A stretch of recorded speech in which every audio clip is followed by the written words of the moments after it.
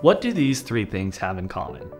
A game of Pac Man, recreated from scratch, Joe Rogan interviewing Steve Jobs in 2022, and the prediction of melanoma or cardiac dysfunction risk in patients.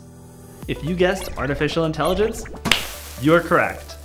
Listen to this interview of Steve Jobs and Joe Rogan, entirely created by AI. It's not about believing in God or not, or even what the right answer is. It's about asking the right questions because most of our reality in our society is rooted in science, which we believe things because they're true. Modern AI language models are so convincing, one even convinced a Google engineer that it's sentient. Just listen to this. I'm not sure anyone else can have an inner life that is exactly like mine. But how do all these developments impact consumer privacy? Who owns the underlying copyright if an AI creates something? And what will all this new technology do to jobs in the future?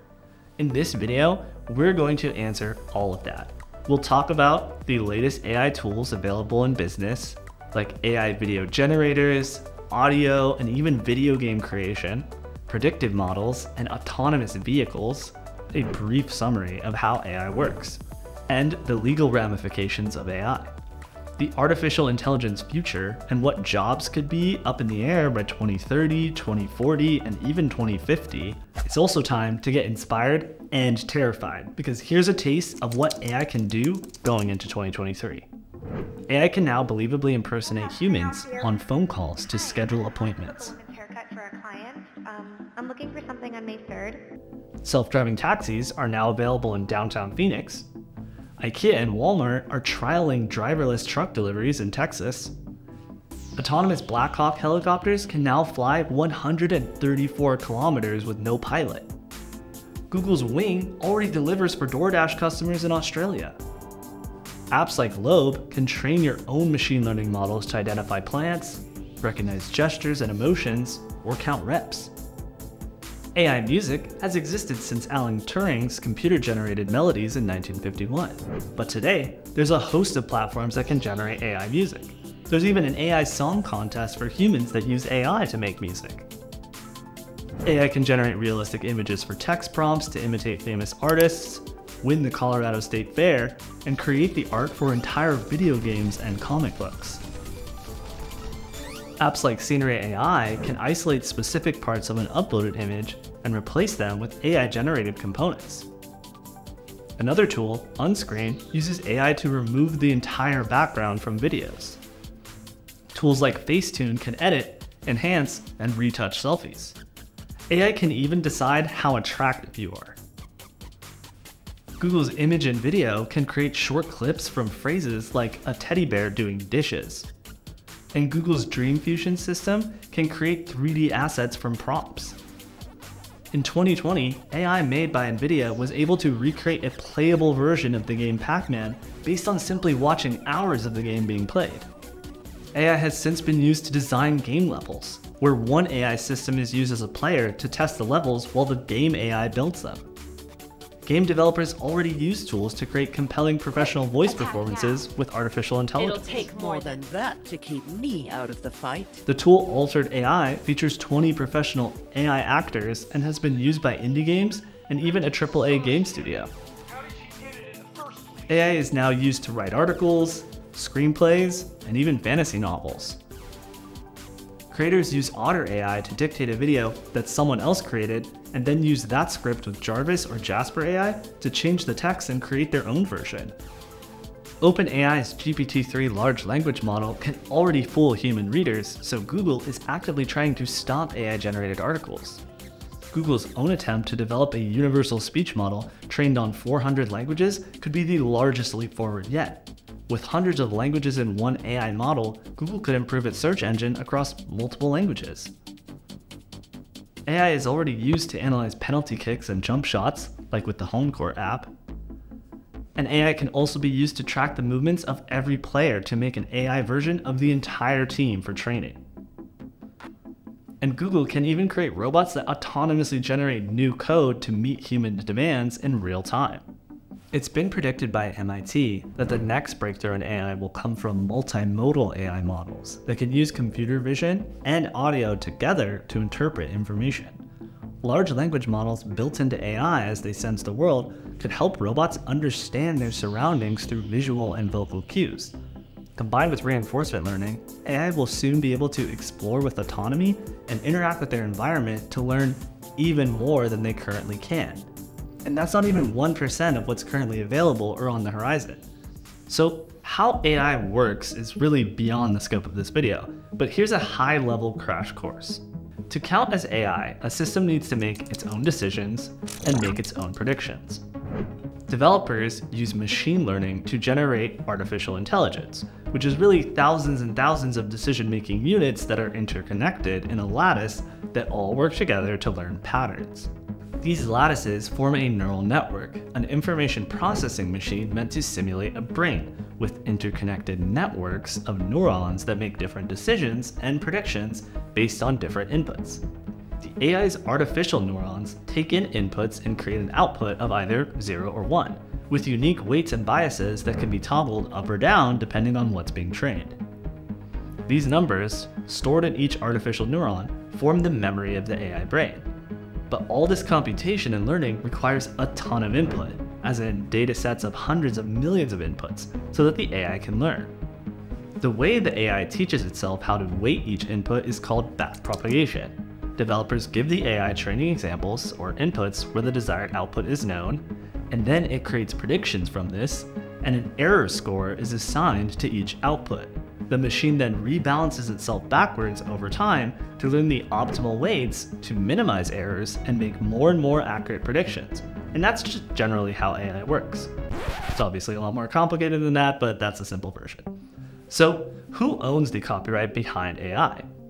AI has been on the US Copyright Office's mind since 1965 when someone tried to copyright a musical composition made by a computer the US Copyright Office has ruled at least twice that AI art can't be copyrighted unless there's a directly responsible human collaborator.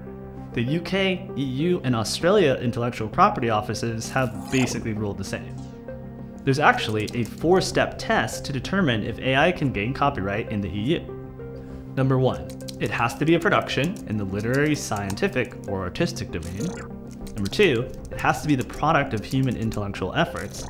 Number three, it has to be the result of creative choices. And number four, those choices are then expressed in the output.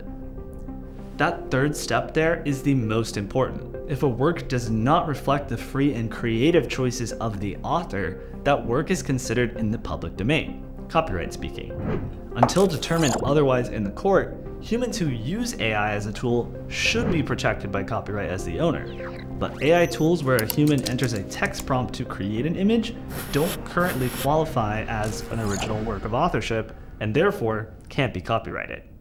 But what if an AI recreates an image of you? As of 2020, anyone can make realistic deepfakes without the use of complicated software. An AI already exists that can copy the voice of anyone with voice imitation algorithms.